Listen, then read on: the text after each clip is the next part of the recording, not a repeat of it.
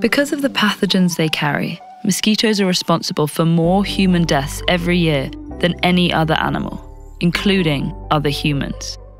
But very few of the 3,500 mosquito species actually transmit deadly diseases to humans. So, what if we could get rid of the most lethal mosquitoes? Over the last two decades, scientists have begun conducting experiments using engineered technologies called gene drives that could theoretically do just that. So, should we? To begin grappling with this question, we have to get a sense of how the technology works. In the usual process of inheritance, the genomes of each parent recombine randomly. So their offspring end up with the DNA that's a rough 50 50 mix from their parents. But gene drives thwart this process and ensure they're passed on. Gene drives are found in nature, but using new gene editing technology, scientists have also begun engineering them in contained labs. For example, in a 2018 study, researchers injected a gene drive into mosquito eggs that made females sterile when they had two copies of the modified gene. Such a modification would usually disappear quickly, but it spread.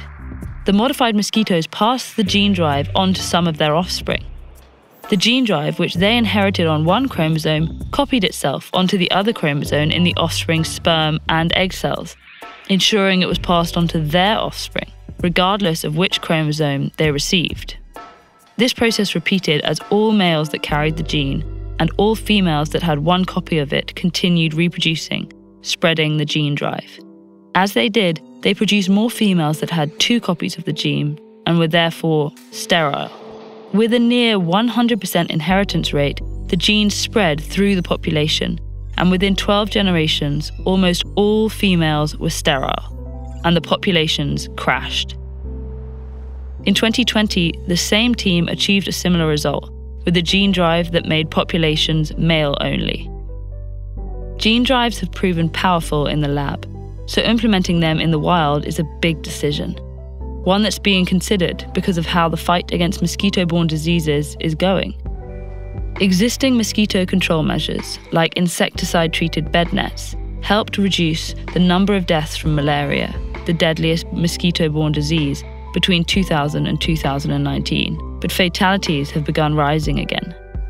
Many mosquitoes have developed insecticide resistance, and insecticides kill more than just mosquitoes. In addition to the first ever malaria vaccine, approved in October of 2021, many see promise in gene drives.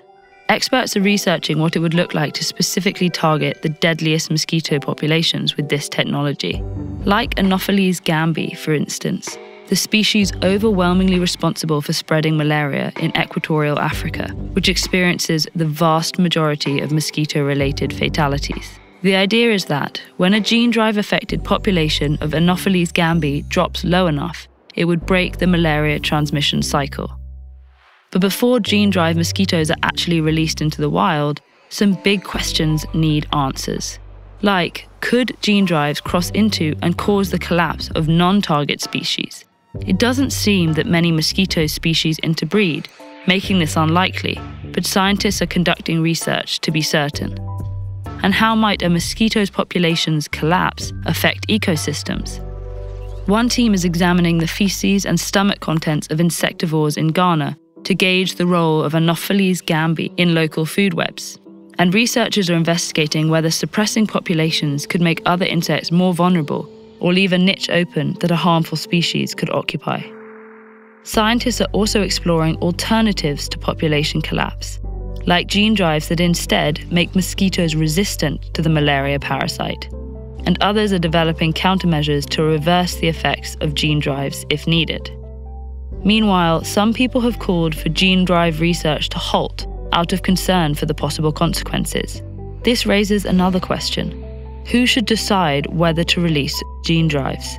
It's essential that communities, scientists, regulators, and governments of the countries most affected by mosquito borne diseases be highly involved in the research and decision making processes. Conversations are currently underway at all levels to establish a system to manage this new area of research and the ethical questions it carries. Life is full of these complex ethical questions. For example, what would you do if you found out that a criminal had poisoned a product you sell? What is your ethical responsibility?